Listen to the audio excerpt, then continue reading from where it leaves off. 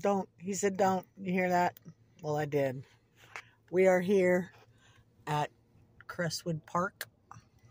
This is where I did the beautiful maple trees last fall, which are not so beautiful right now.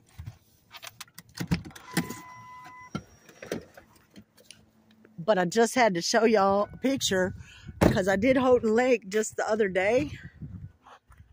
And you saw the waves and the wind and all of that.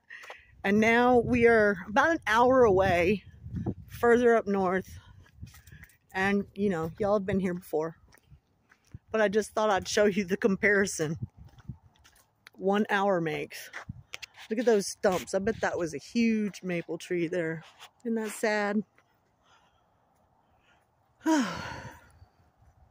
so there you go, an hour away.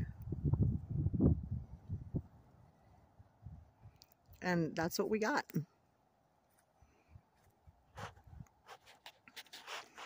Dad's little lake, which I think is the cutest little lake, but ooh, you can't swim in it.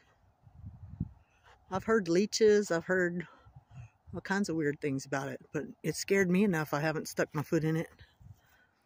All right, y'all. It's still frozen in Johannesburg, Michigan. Y'all take it easy.